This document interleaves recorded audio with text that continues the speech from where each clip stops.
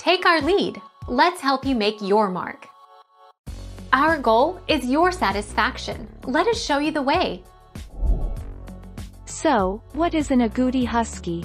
An agouti husky has a very rare coloring on his coat that's more likely of a working racing husky.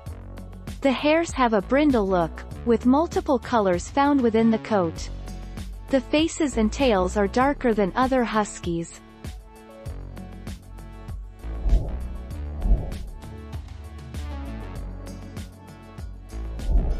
Make your mark. Take our lead. Pure white. Pure white. Pure white is perhaps the rarest coat color of Siberians. A white Siberian can have liver or black points, the color of the nose and skin around the eyes. This color, or lack thereof, is a result of the complete restriction of color pigments and extension of white over the dog's entire body.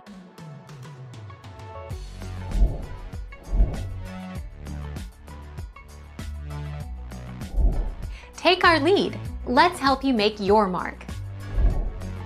This is a very rare coloring, more often found in racing working lines rather than conformation show lines. There is often a brindle look to the coat because individual hairs are banded with multiple colors. Thank you for watching. Please subscribe and hit the bell notification.